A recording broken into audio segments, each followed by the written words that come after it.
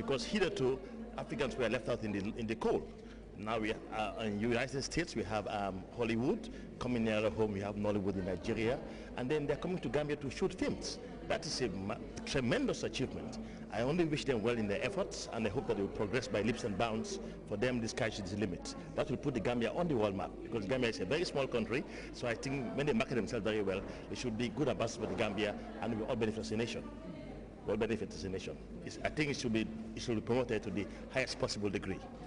Well, it is a very good thing. Definitely, I'm very impressed. I've been saying that um, the Gambia is doing a lot when it comes to uh, film and film production. And the Gambian lady who is in this program, um, if you could remember, her dad was on the show to talk about her, and I'm very happy and proud of her. But what I have seen, I'm really impressed, and um, congratulations to George Gomez and Mam Kumba. I think it's good for Gambia. Basically, if we have more people doing this for international market, it will be very good for Gambian industry. Since we do not have an industry, this is the only way we can work at the moment. We'll have to be collaborating with other people and then hopefully we'll be able to make our own industry stronger.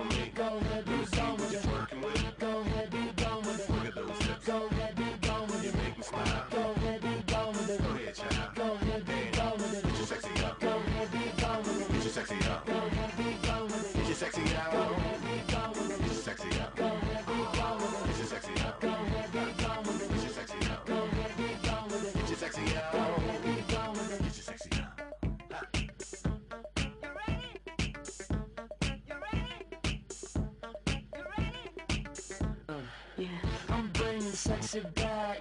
Yeah, you motherfuckers watch your eye attack.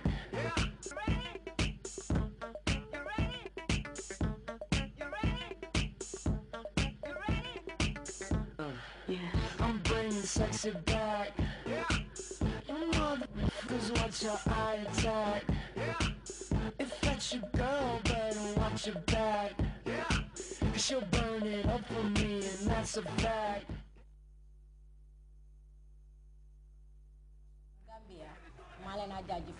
Hello, if you're watching this is GRTS, I have a special guy when it comes to music now here in the Gambia they call Fila and it's Mr. Wagan. Thanks for everybody who supported us along the way. Um, well, we just thought of uh, doing something for the artists because we had a lot of artists that um, have potential, but they just didn't have the platforms to showcase their talent. So we decided to come up with the open mic. Um, now it has grown from a small event, you know, few hundred people to, I mean, 10,000 people in a period of four years. So, I mean, um, I think uh, people definitely appreciate it and felt like it was something they, that they needed and it, they, it belongs to them.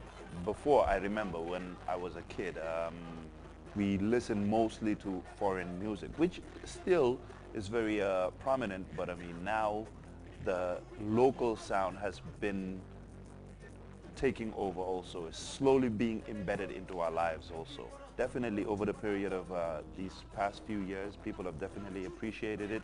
They, you know, you just see the passion and